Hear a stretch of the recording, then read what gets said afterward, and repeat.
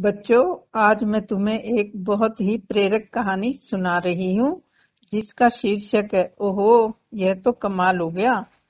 उत्तर भारत के मैदानों में वसंत शीघ्र आ जाता है। उसकी छटा बड़ी मनोहारी होती है। रंग रंगीले तरह तरह के फूलों की सुगंध वातावरण में तैरती रहती है। वसंत के आगमन के साथ ही प्रवासी पक्षी हिमालय और सुदूर साइबेरिया से गर्मी और भोजन की तलाश में केवला देवघना, दिल्ली और उसके आसपास के क्षेत्रों में आते हैं तथा वे खिले फूलों के इर्द गिर्द मंडराते रहते हैं। एक दिन फूलों के पास बैठे कुछ पक्षी आपस में बतियाने लगे। भाई वाह, यहाँ कितने सुंदर फूल है। पर जहाँ हम रहते हैं, वहाँ तो एक भी फूल नहीं खिलता। कितना अच्छा होता। हमारे देश में भी ऐसे फूल खिलते, ऐसी ही सुहावनी ऋतु होती तो हम निहाल हो जाते। तभी दूसरा पक्षी बोल पड़ा। फूल बड़े ध्यान से पक्षियों की बातें सुन रहे थे। दूर देश के बेचारे पक्षियों की व्यथित बातें सुनकर उन्हें दुख हुआ। चार फूल एक शाख पर आसपास खिले हुए थे। उन्होंने मन ही मन ठान ली कि वे उत्तर में पक्षियों के ठंडे प्रदेश में ज़रूर जाएँगे। किंतु बंधुओं, हम जाएँगे कैसे? एक फूल ने कहा, हमें तो प्रकृति जहाँ लगा देती है, वहीं रहना हमारी मजबूरी है।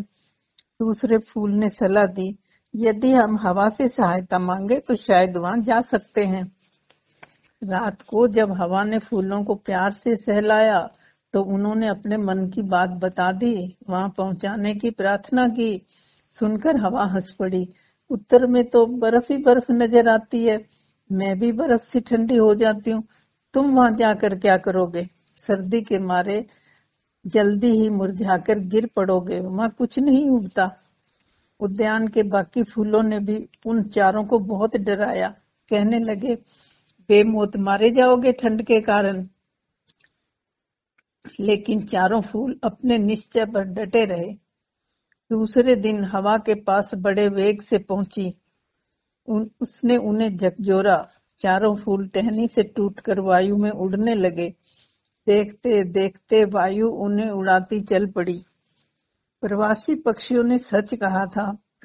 हवा ने भी ठीक बताया था। जैसे जैसे वे उत्तर दिशा में बढ़ रहे थे वायु शीतल होती जा रही थी। फूलों की रंगत उड़ने लगी। उनकी पंखुड़ियाँ मुरझा गई। बीच बीच में वायु उन्हें बार बार पूछती, कहो तो लौट चले, मेरा तो कहना है आगे जाने मूर्खता है।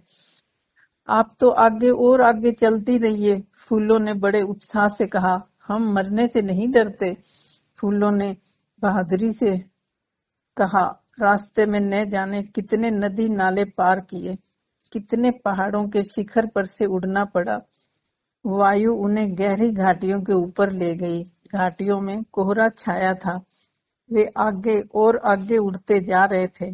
तभी थक कर चूर हुई वायु बोली, पई और आगे, बस अब मैं नहीं जाऊँगी। थकावट और सर्दी के मारे मेरी हालत बहुत बुरी हो रही है। एक फूल वहीं घाटी में ठहर गया। दूसरे ने भी एक झील के किनारे चट्टान की ओट में अपना घर बनाना तय किया। वहाँ हवा का वेग धीमा था।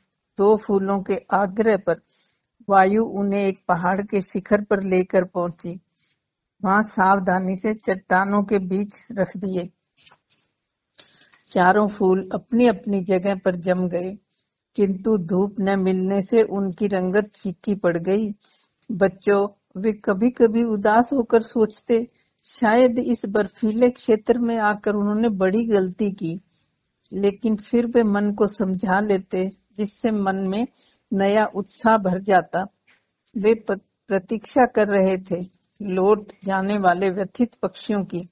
कितनी खुशी होगी जब वे प्रसन्नता से चह चाहते हुए बोल उठन, ओहो, यह तो कमाल हो गया, यहाँ पहले तो कभी फूल नहीं खिले थे। और सचमुच, दक्षिण में शीत ऋतु बिताकर आए पक्षियों ने उन फूलों को देखा। तुम्हारे प्रसन्नता के चहचाने लगे, खुदकने लगे, यह तो चमत्कार हो गया। फिर आई बसंत ऋतु। इससे पहले वह सब दिशाओं में फूल खिला चुकी थी। उसे सर्वप्रथम इस क्षेत्र में चार फूल दिखाई दिए।